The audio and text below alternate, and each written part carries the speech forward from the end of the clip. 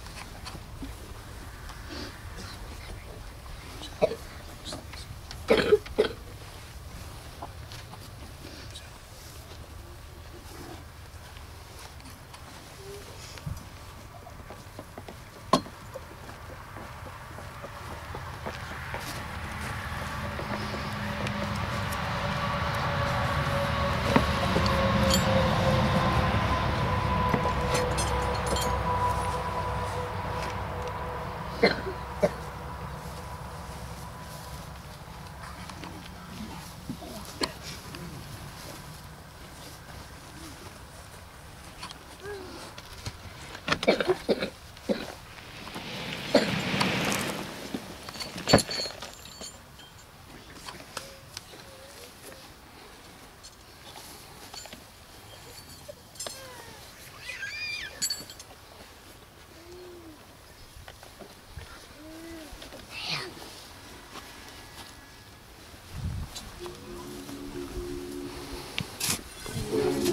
the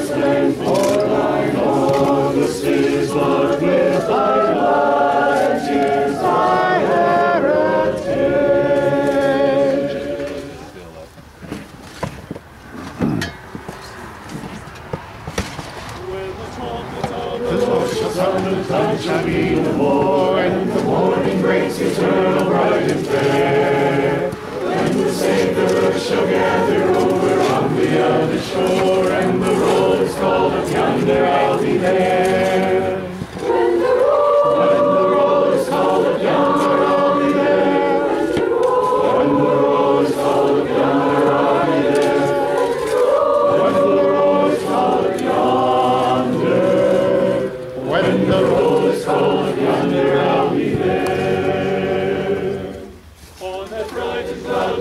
when the dead in Christ shall rise and the glory of his resurrection share.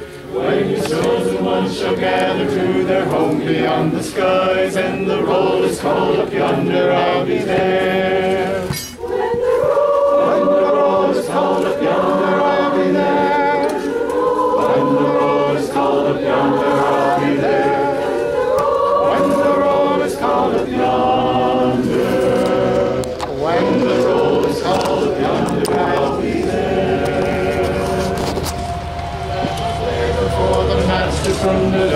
setting sun, let us talk of all his wondrous love and care. And when all life is over and no work on earth is done,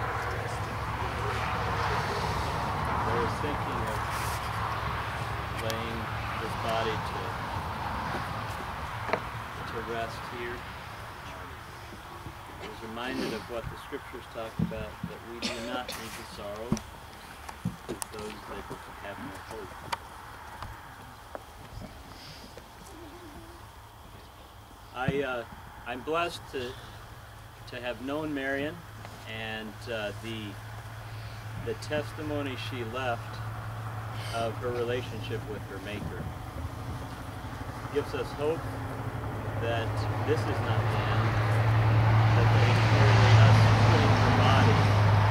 back to the, the ground.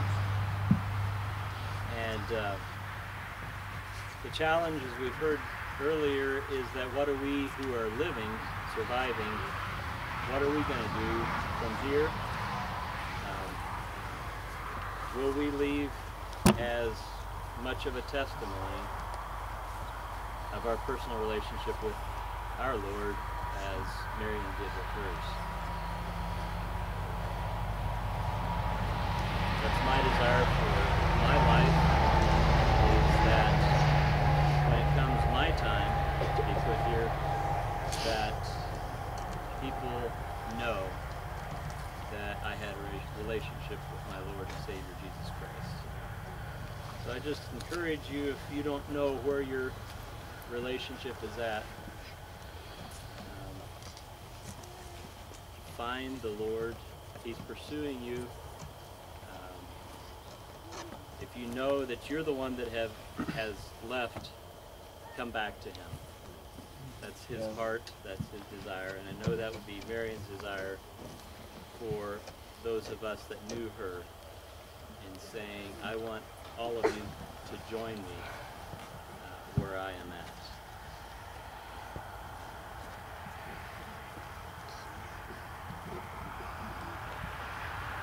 Just like to read a few scriptures.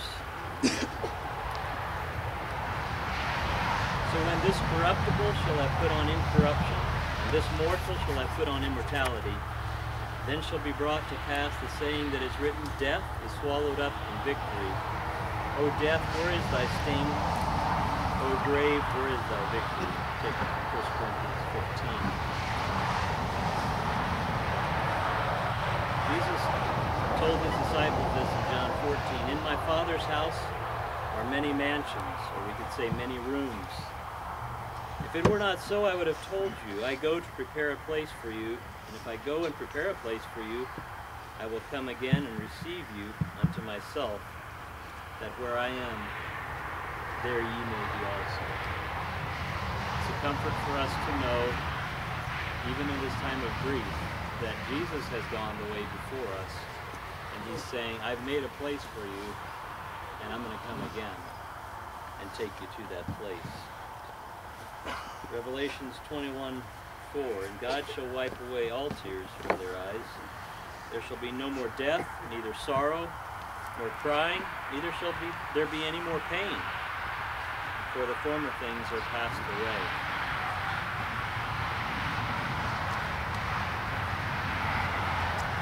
Revelation 14, 13, yes, says, And I heard a voice from heaven saying unto me, Write, Blessed are the dead which die in the Lord from henceforth.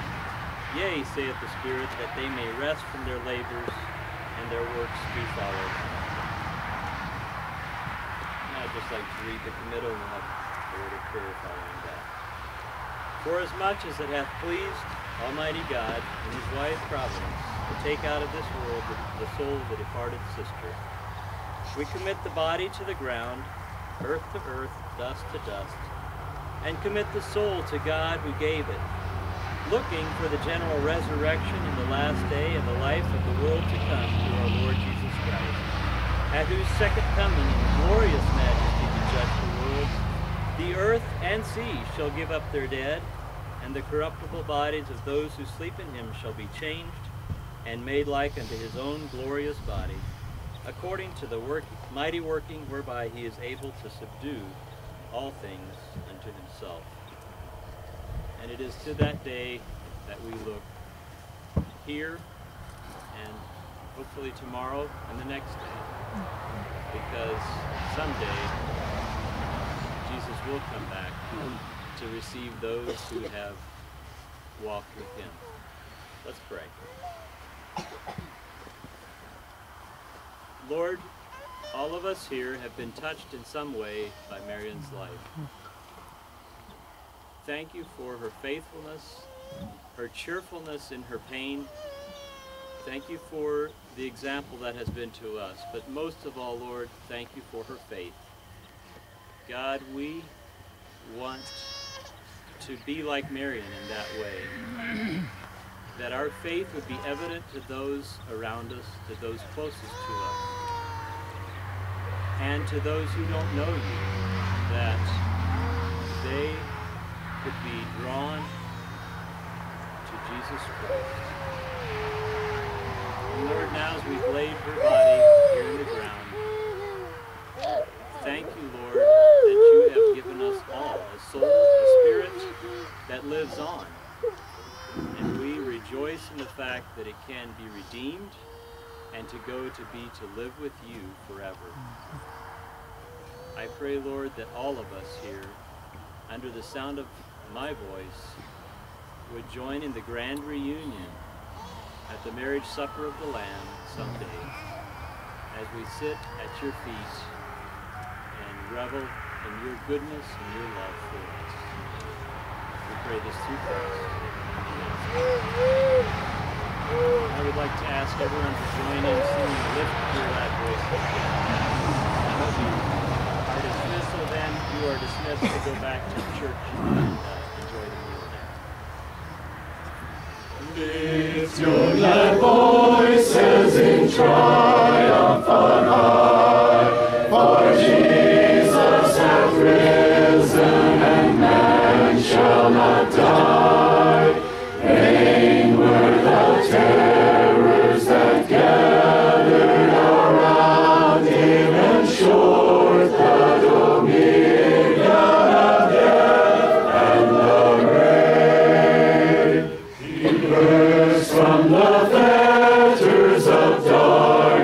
darkness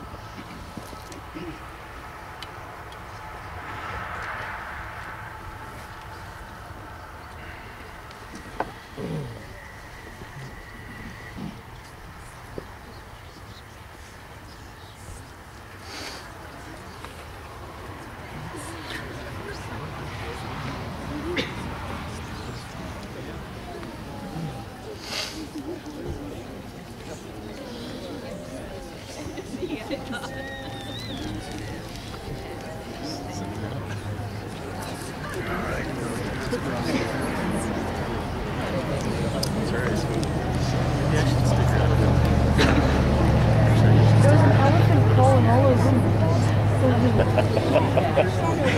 gonna remember that for a long time, aren't you, son?